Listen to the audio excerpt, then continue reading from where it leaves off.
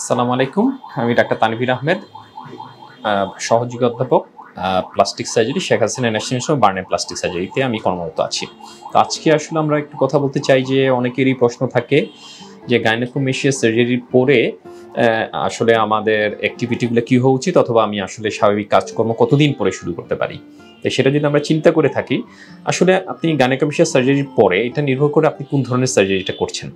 কেউ যদি আসলে গাইনোকোমেশিয়ার সাবকিউটেনাস মাস্টেকটমি যেটা করেন, আমরা যেটা করি, সেটা যদি করে থাকেন, তাহলে সেক্ষেত্রে আমরা সাধারণত অপারেশনের পরে একটা শরীর থেকে একটা পাইপ বের করা থাকে যেটা দিয়ে শরীরে জমা ব্লাড বা অন্য জিনিসটা বেরিয়ে আসে, কারণ এটা আসলে ভালো ফিউচারে ভালো রেজাল্টের জন্য এটা খুব জরুরি। তো সেক্ষেত্রে সাধারণত অপারেশনের পরে হসপিটালে দুই থেকে তিন রাত অবস্থান করতে হয়।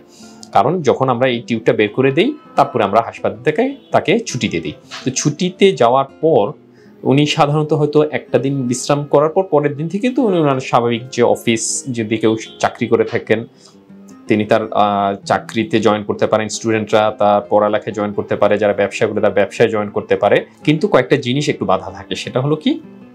যে হাতে ভারী জিনিস, যেমন হতে পারে দেড় কেজির বেশি ওজনের জিনিসপত্র হাতে না নেওয়াটা আমরা একটু একটু ডিসকারেজ করে থাকি। তাছাড়া ভার বহন অথবা জোরে কোথাও ধাক্কা দেওয়া অথবা জোরে কোনো কিছু টানা, এটা আমরা ছয় সপ্তাহ পর্যন্ত নিষেধ করি। আর তাছাড়া হলো সাইকেল মোটর সাইকেল এবং জিম। এই দুইটা যখন আমরা চালাই, তখন আমাদের বুকে যে প্যাক্টোরালিস মেজর মাসেলটা থাকে, তার উপরে খুব চাপ পড়ে। তো এতে যেটা হয় যে সার্জারি পরে এটা আসলে শরীরের সাথে অ্যাটাচমেন্টটা খুব জরুরি যে অপারেশনের পরে, যে এটা এই অ্যাটাচমেন্টটা যত ভালো হয়, তার লং টার্ম রেজাল্টটা খুব ভালো, খুব চমৎকার হয়। সেই জন্য আমরা হয়তো সাইকেল, মোটরসাইকেল, জিম এই জিনিসটা আমরা তাকে ছয় সপ্তাহ পর্যন্ত নিষেধ করে থাকি। ছয় সপ্তাহ পর থেকে আসলে উনি ওনার স্বাভাবিক সকল কাজকর্ম করতে পারেন। উনি সাইকেল চালাতে পারবেন, জিমে যেতে পারবেন, সুইম করতে পারবেন ইভেন কি ভারী কাজ করতে পারবেন। তবে অপারেশনের পর যারা জগিং করেন বা হাঁটেন, দৌড়ান, এটা কিন্তু আসলে কোনো সমস্যা নেই। উনি এটা করতে পারেন। অনেকের এটাও অনেকেই জানতে চান যে গানে গাইনোকমিশিয়া সার্জারি করার পর যেসব চাকরিতে জয়েন করার জন্য মেডিকেল ফিটনেসের ব্যাপার আছে বা ফিজিক্যাল এক্সামিনেশন ব্যাপার আছে, সেখানে করা যায় কিনা। তো এটার জন্য আমি বলতে চাই যে সরকারি চাকরিতে জয়নিং এর ব্যাপারে আপনি গাইনোকমিশিয়া সার্জারি করলে পরে এটাই কোনো বাধা নাই। নাম্বার টু হলো অনেক সময় আসে যে বিভিন্ন জায়গায় বিভিন্ন বাহিনীতে চাকরির জন্য গাইনোকমিশন যদি ধরা পড়ে তখন হয়তো তাকে টেম্পোরারি সে তাকে আনফিট করা হয় না, কিন্তু তাকে বলা হয় যে আপনি এটা কারেকশন করে আবার আসেন। তো সেটা কারেকশন করে যখন সে আবার চলে যায় তখন কিন্তু উনি সেখানে আবার নিয়োগ পেতে পারেন।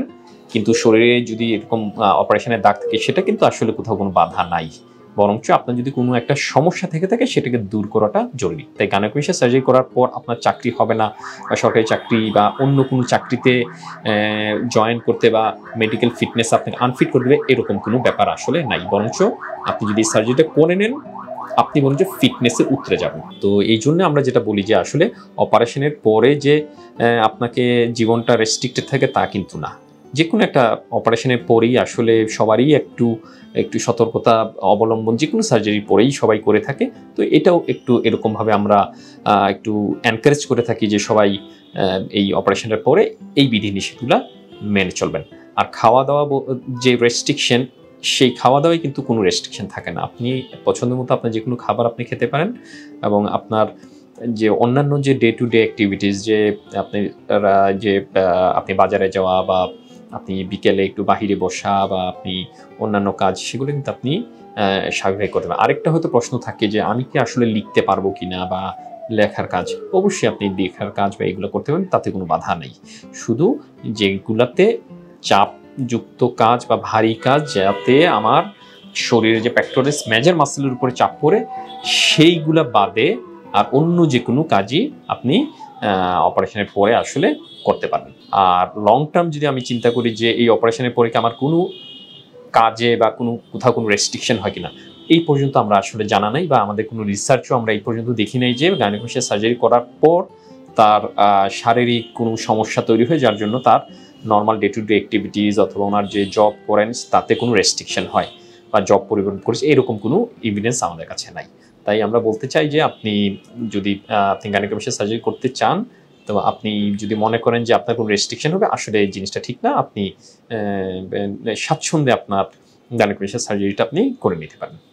ধন্যবাদ।